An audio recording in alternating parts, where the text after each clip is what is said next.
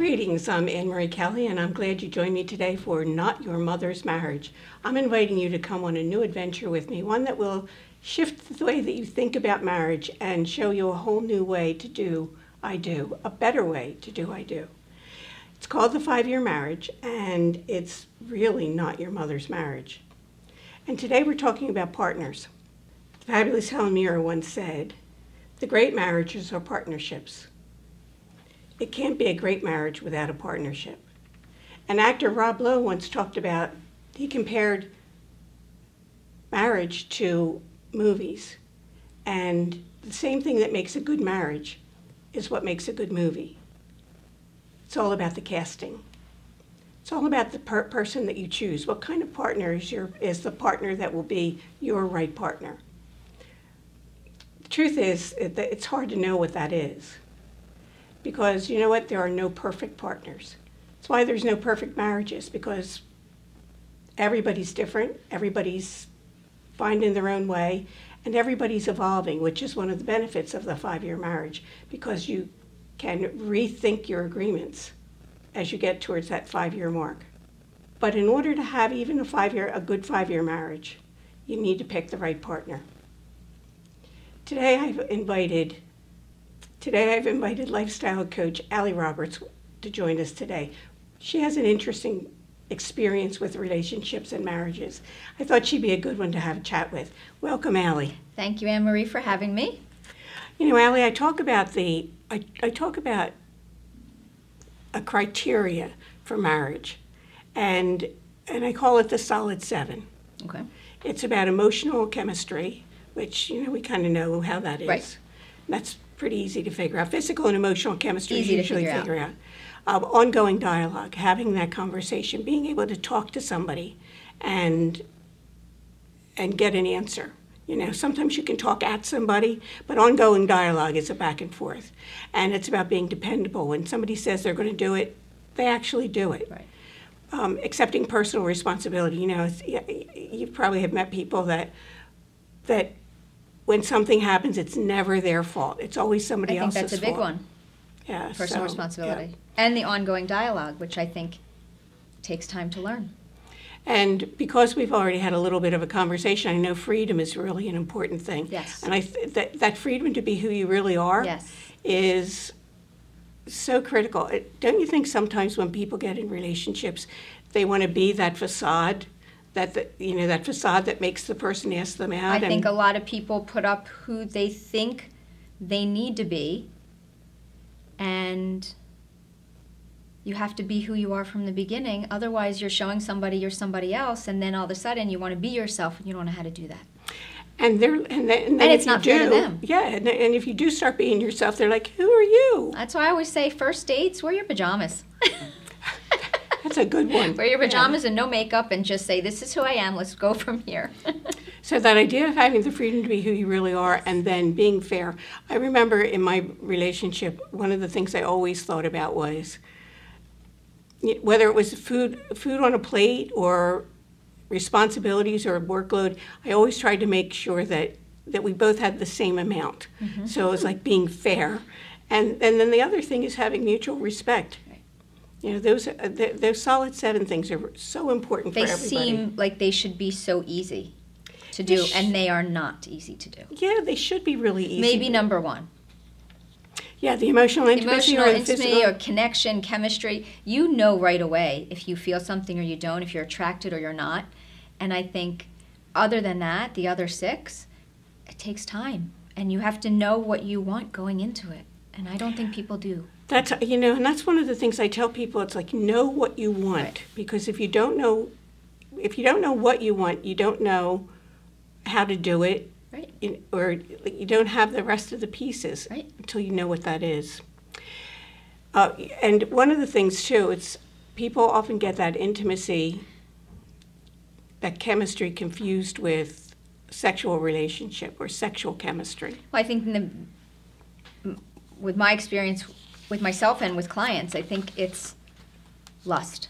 There's that I want passion, I want romance, I want movie sex, I want, and so that physical chemistry from the beginning is there's a lust that goes But where do you want that to go? Because that's going to fade away and you have to want it to grow into something and all those other six components play into that. Yeah, I always say that the lust gets colder, it gets cold, and the and the luster tarnishes a little Yes. bit. And if you don't have something else going on, Right. that there's a problem. But nobody can deny that that first piece with all that lust at the front, Sure. it's delicious. Like when I see a couple is. be like that, I'm like, oh, that's you're in the delicious part It of your is. relationship. I agree with you, and that's a good word for it. It is delicious. Yeah, it's like, mm-hmm. but it's kind of the thing that everybody really enjoys. Yes. But tell us a little bit about your story because you have multiple relationships, and and it is the reason why I wanted you to come on today because because you see it from both sides in an I do. interesting way. I do. I have been married and divorced twice. Um, and then after my second divorce, I met somebody online. I did the online thing that everyone said I should do, and I met somebody. And it was a long term relationship, um, which I definitely thought was going to be my final relationship of life um, until it wasn't. And when I came out of those big ones, the last the last one shifted a lot for me, both mentally and physically. And I decided I was going to go on an inner journey for a while. So I needed to transform how I saw relationships. What did they mean to me? What did I want? What did I not want? And most important for me was personal responsibility. Hmm. It took two of us to make the marriage, and sometimes it looks like it takes, you know, one person broke the marriage. But for me, I needed to break open and get really raw with myself and say, where was my responsibility in breaking this marriage? Yeah. What did I do wrong? Because if I don't figure that out, I can't have another successful relationship. It's impossible. You, you know, Allie, that's that is such a good point because I see that a lot. I see that a lot when mm-hmm. somebody has multiple relationships, whether they're married or not, that they go out with and marry the same person. Mm-hmm. Because it, I mean, they may look different, you know, but but it's the same person. Did you find that in your relationship? No, I didn't. Um, my first husband and my second husband were very different people. Ironically, though, they did resemble each other, and not many people. My my first husband lives out west, and so not many people had actually m- met him from my circle once I was divorced, and made new friends. Um, but when they people saw my second husband, they said, "Did, did you marry your husband's brother?" Because my. people thought that Oh, they, they resembled each other. They had a physical resemblance, um, but they were very different people. Very, very, very different. And my third relationship was a lot like my first. So I kind of went back to this rebel, bad boy Hmm. kind of thing that I thought was exciting. What is it about us liking the bad boys? We we do. we think just- it's exciting. There's a little bit of sweet and a little bit of salty and and I know that's what drives me. You know, I like a little bit of edge, and um, the key is to find the edge that's not painful. That's right. You don't That's cut right. yourself on. Yep, yep, yep. So it's, tell me what kinds of things, as you progressed through those relationships, Mm-hmm. what kinds of things did you think that you would have asked or thought about differently going into the relationship? I uh, parenting. In both my marriages, I wish that I had discussed parenting. My first marriage, you know, we were having a child together, and I don't think we ever discussed how we would parent. And we came from two different backgrounds, two religion differences. So we did not discuss it. And after my daughter was born, we didn't really discuss it either. It was kind of an assumption of we're just going to do this. But we got, we separated almost immediately after she was born. And I ended up raising her and having sole physical custody. So I got to do it on my own. But when years later, when I married my second husband, we blended two families together. Hmm. And we didn't talk about it. And I didn't bring it up either. I didn't even think about it at the time. And there was a great difference in how we raised our children. And it hurt the marriage. I can, I, I've seen that happen. It hurt the Unfortunately, marriage. I've seen that happen. And the other thing that I've seen happen is that they want to have a family, they can't have a family for whatever you know whatever's going on. So one person says, "Well, I really want to be a parent. I want to adopt." Or I want to do artificial insemination or something. Mm-hmm. And the other partner's like, no, no, no way. Yeah. Yeah. You know, Mm-hmm. and if it can't be my biological child, or there's like a whole bunch of things that may or may not make sense Right. to other people, but make sense to that the peop, the partners in that couple. Sure. And even in my third relationship, where my daughter was already get, becoming a teenager and his kids were a little bit older, I didn't think that question needed to be asked. But as it got more serious, and I thought, I, I could marry this man one day. And even though our kids will be grown, the, our view on parenting was drastically different. And that was a problem. It, it- we, Yeah. it- we didn't parent each other's children, but our beliefs in parenting were different.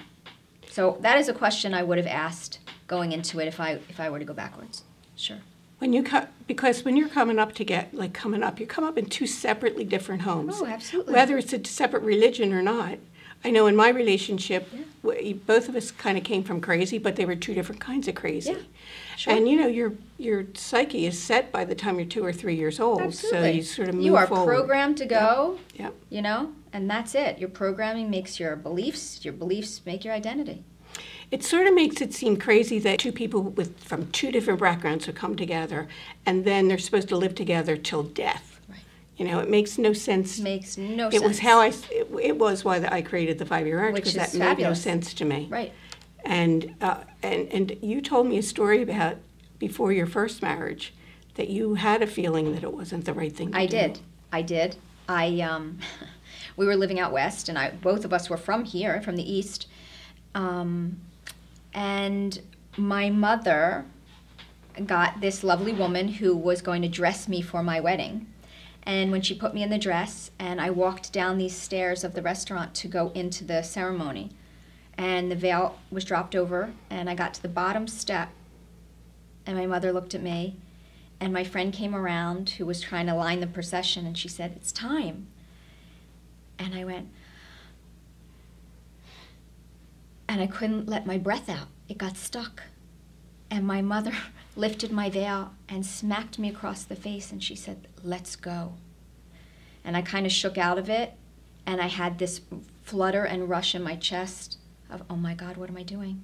Because I knew, I knew this marriage was going to fail because I saw the signs and I knew there was no way that we would survive it. But at the same time, I was young, was 28 years old, and I, my mom, you know, sh- sh- paid for a wedding, and I didn't. She was a single mom. She was, and took a loan out for my wedding, Mhm. and I was afraid to let her down. I was afraid to walk up there in front of all those people and say, "I can't do this." So I did it. Did you ever ask her after the fact? Did what? Was she glad you did it or not? Would she? How she would have reacted if you I had never stopped? asked her. I never asked her what would have happened if I had said, Mom, um, I can't.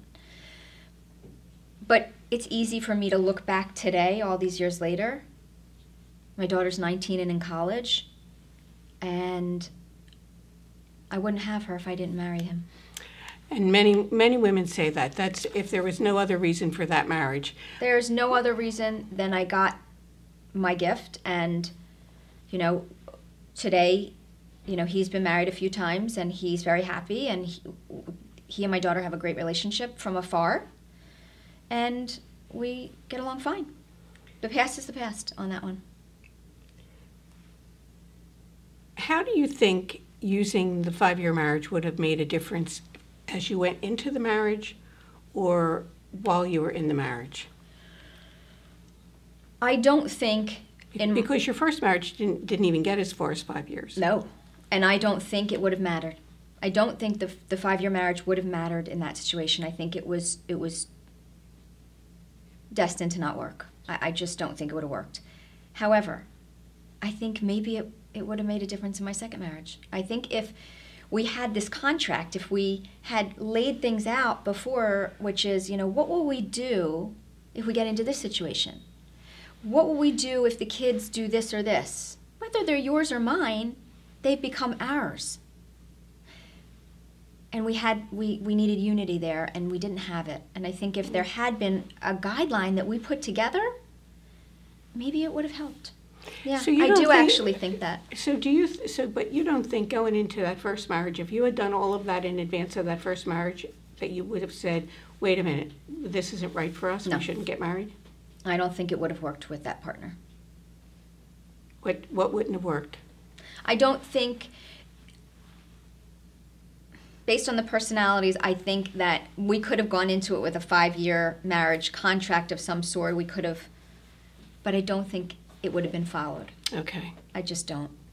Yeah, you, and you know what, Allie, I, and I tell people all the time, the five-year marriage isn't for everybody because some people need, there's a bunch of reasons why they need it, but they need not to have that deadline or mo, they don't want to be motivated to have an ending or anything like that. And I get that, but in this situation, I just think that um, sometimes you you know we can control what we do. We can't control the other person and what they want and what they do. And I don't think it would have worked in that situation. And you don't think it would have flipped your mind to say maybe this isn't the right person? To be honest, I have to say I, I, I don't even I don't even go down that road because because I have my daughter with that one, and I I don't want to think if it would have been different. Okay. Yeah.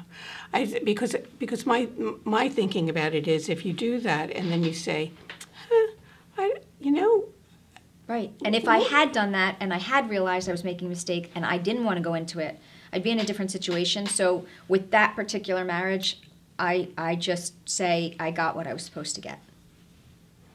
So, what are some of the big things that you, if you are, if you were coaching a, a couple, what would be some of the things that you would be telling them? I um I would say to them, I would sit them down and I would say, I would like to see both of you individually lay out your goals. What are your each of your goals for marriage? What are your goals for parenting? What are your goals personally, professionally, financially? Where's your connection to something? And then I would want them to do it together. Because I think each person individually has to have their plan themselves. You cannot rely on the other partner to bring you fulfillment and joy and happiness.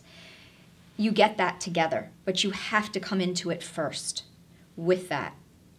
Because without it, you are relying on another person to fill you up day after day. One, it's it's not sustainable, and two, the other person can't take on that kind of pressure. Um, I think parenting is a huge factor that people should talk about before they get married. How do they want to raise children? What are their beliefs? What would they do if a situation arose? Because when you're in it, you don't have time for that. And it causes a lot of trouble in a marriage if you aren't on the same page. Not only for a marriage, but for the children. Yeah, I- they I are the ultimate ones that. Yep. that, that get hurt in the end Yep. you know and and also very importantly i would say you have to make a pact a contract sign a paper. When we fight it is never going to be in front of the children. Even if it's a horrible situation that we feel like we're going to lose control remember that. Find a safe word. Do something but don't ever do it in front of your kids because everything our kids hear everything our kids watch is what programs it programs them. It gives them their beliefs at such a young age. They grow up with those and and then what It's one of the things in the five-year marriage that, that I recommend, and I, and I show couples how to have a family meeting. And sometimes, and in my marriage, sometimes we have to have family meetings every week. Sometimes we can go a couple of months. It depends on what's going on. Mm-hmm. But if you, if at some point you're having family meetings and the, the whole point is to stay on the same page. yes But as the children get old enough, that you start to bring them into the family meeting yes because it's important for I, I think that it's important for children to see that it doesn't just happen like magic. No. Nothing happens No. in marriage by magic. It's it it's a negotiation it is a negotiation and sometimes they're painful. yes but it's okay to show your kids that and it's okay that they know you argue as long as they know you walk away from it with love Right. and always give them an opportunity to voice their own concerns. Don't shut them down. Let them be a part of this. You made them. You made this Yeah. family. Give the opportunity to grow as a family. Somebody once said they thought that the five-year marriage was terrible because of what it did for the children. But the truth of the matter is, if the kids can't see how the cake is made, they don't know how to make a cake when they get in their own I always say the same thing. If Yeah. you don't show kids, you know, I know people who say, well, we're staying in this marriage until the kids go off to school, to college, or until we are in this phase. And I say, then what are your kids learning from you? That's a exactly right, loveless yep. relationship. You are teaching your daughters to not be respected and to not have love, and you're teaching your sons that it's okay to not love back. Don't do it. Your kids are more resilient than you give them credit for, Yep. and if you explain a situation and you show them that it's within love and that they'll always be supported, give them a chance to see something good. That's it's really true, and and for all of the couples that I've worked with, and for so many who are children of divorce, that when I ask them, you know, did they? Because sometimes women will say, "Well, the kids didn't even know we were having a problem." They knew. Yes, they did. Kids know. They're in the same always house. know. They know. It's sometimes it's it- not a sound; it's a feeling. C- children can feel the stress. There's a tension in the air, and everybody feels it. Yep. Even your and then they grow it. up with that tension. I know. Yeah. Allie, this was good. It was good to have the conversation Thank with you. you. I'm glad that Thank you Thank you so came much for in. having me. And I'm glad that, I'm glad I did. And um, thank you for all for joining me today. If you want to know more about the five-year marriage, you can find me at fiveyearmarriage.com. And Allie, how can people get in touch with you? People can get in touch with me um, at Real Health MD. We're located in King of Prussia. You can look us up and find me there. You Please- can find me also on Ali Strong Coaching on Instagram and Facebook. And I hope you'll join me again for Not Your Mother's Marriage. Jen's on.